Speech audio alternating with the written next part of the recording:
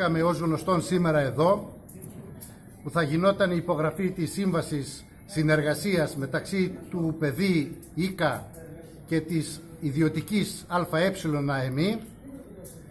Περιμένουμε πάρα πολύ ώρα τον, τον γραμματέα του Υπουργείου ή τον Υφυπουργό, δεν ξέρουμε και ποιοι θα έρθουν.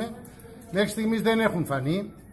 Προφανώς τρομοκρατήθηκαν από την κινητοποίηση που κάναμε και αυτό που θέλουν να περάσουν τη σύμπραξη δημόσιου και ιδιωτικού τομέα, ζήτημα που παλεύουμε τόσα χρόνια, δεν θα τα καταφέρουν.